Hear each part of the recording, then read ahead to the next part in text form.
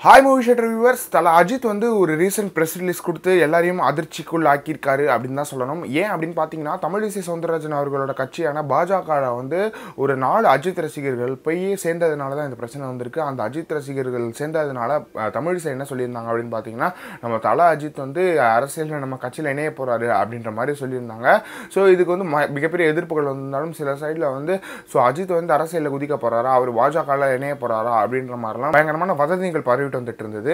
So அதுக்கு முற்றுப்புள்ளி வைக்கிற மாதிரி நேத்தி ஒரு ப்ரெஸ் ரிலீஸ் ஒன்று விட்டுருந்தார் நம்ம தலாஜித் அந்த ப்ரெஸ் ரிலீஸில் என்ன சொல்லியிருந்தார் அப்படின்னு பார்த்தீங்கன்னா நான் வந்து யார் கட்சியிலையும் இணைய விரும்பலை. நான் வந்து யாரோட க அரசியல்லையும் வர விரும்பலை. என்னோட வாழ்க்கை என்னோட உண்டு நான் இருக்கேன். என்னோட வேலை என்னன்னு பார்த்தீங்கன்னா நடிக்கிறது மட்டும் தான். ஸோ நான் நடிச்சுட்டு என்னோட வேலையை பார்த்துட்டு நான் போயிட்டுருக்கேன். வேற யாராவது இதில் குறுக்கிட நினச்சா நான் சும்மா இருக்க மாட்டேன். அதே மாதிரி வேற ஒரு கட்சிகளோட கொள்கைகளை என் மேலே திணிக்க நினைக்கிற கட்சிகளை நான் சும்மா இருக்க மாட்டேன் அப்படின்ற மாதிரியும் சொல்லியிருக்காரு. ஸோ அது மட்டும் இல்லாமல் ரசிகர்கள் எந்த கட்சியில் வேணால் இருக்கலாம். என் ரசிகர்களோட இஷ்டம் அது. ஆனால் என் பேரை சொல்லிட்டு இணையாதீங்க அப்படின்ற மாதிரியும் சொல்லியிருக்காரு. அது மட்டும் இல்லாமல் தல அஜித் வந்து எந்த அரசியலிலும் ஈடுபட மாட்டேன். என் படத்துலையும் நான் அரசியல் பேச மாட்டேன்.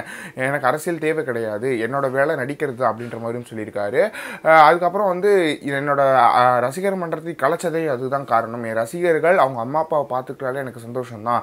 அதை தவிர்த்து எனக்கு வந்து பாலாபிஷேகம் பண்ணுறதோ அதெல்லாம் பண்ணாதீங்க அப்படின்ற மாதிரி முன்னாடியே சொல்லியிருக்காரு. பட் இப்பயும் அதை வந்து வற்புறுத்தி சொல்லியிருக்காரு. என்னோட என்னோட அதிகபட்ச அரசியல் என்னன்னு பார்த்தீங்கன்னா ஓட்டு போடுறது மட்டும்தான். அதுவும் லைனில் நின்று ஓட்டு போடுறது மட்டும்தான் அப்படின்னு சொல்லியிருக்காரு நம்ம தல அஜித்.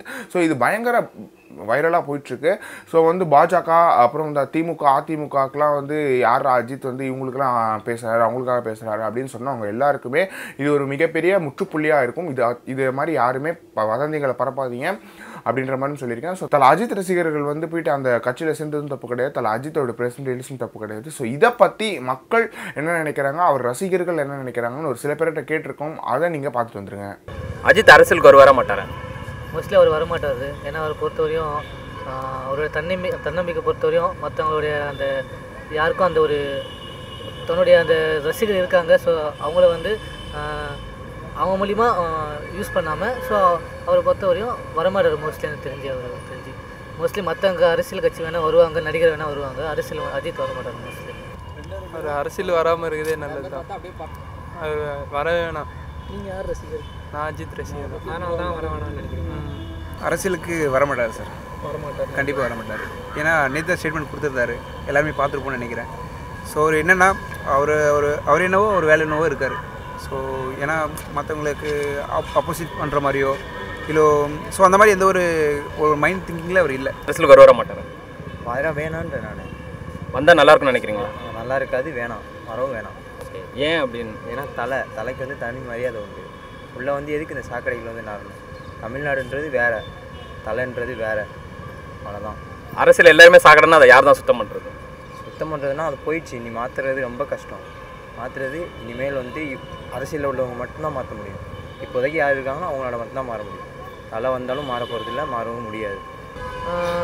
நல்லா இருக்கும்னு சொல்ல முடியாது பட் அவர் வராமல் இருக்கிறது தான் நல்லது. ஏன்னா இப்போ ரஜினி கமல் எப்படி வந்து அவங்கள மக்கள் வந்து இது மாதிரி பார்க்குறாங்களோ லாஸ்ட்டில் அதே மாதிரி இப்போ வந்தால் லாஸ்ட் டைம் வந்தாருன்னா ஸோ அவருக்கும் அதே மாதிரி தான் நிலைமை. ஸோ அவர் எப்பவுமே சினிமா இண்டஸ்ட்ரியில் இருக்கிற வரையும் ஸோ அவர் இது தனியாகவே இருந்தாவே அது நல்லது. இல்லை அவர் மக்களுக்கு நிறைய நல்லது செய்கிறதா வந்து நிறைய நியூஸ் வருது. ஸோ அப்போ அவர் அரசியலுக்கு வந்தாலும் அந்த மாதிரி செய்யறதுக்கு வாய்ப்பு இருக்கா?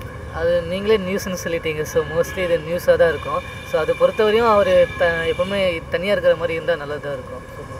ஸோ பார்த்துருப்பீங்க தலை அஜித் ரசிகர்கள் தலை அஜித் அரசியலுக்கு வர வேணாம் தான் நினைக்கிறாங்க. அவரும் அதை வந்து வர வேணாம் தான் சொல்லியிருக்காரு. ஸோ வந்து இது பயங்கர பெருசாக பார்க்கப்படுது. ஸோ அஜித் ரசிகர்கள் யாரும் சரி அது மட்டும் இல்லாமல் வேறு ரசிகர்கள் யாரும் சரி அஜித்தோட அரசியலை வந்து தேவையில்லாத வதந்திகளை பரப்ப வேண்டாம்னு சொல்லிட்டு இந்த வீடியோ முடிச்சுக்கிறேன். இந்த வீடியோ உங்களுக்கு பிடிச்சிருந்தா லைக் பண்ணுங்கள் கமெண்ட் பண்ணுங்கள் ஷேர் பண்ணுங்கள் மறக்காமல் மூவி ஷேட்டர் சேனலுக்கு சப்ஸ்கிரைப் பண்ணுங்கள்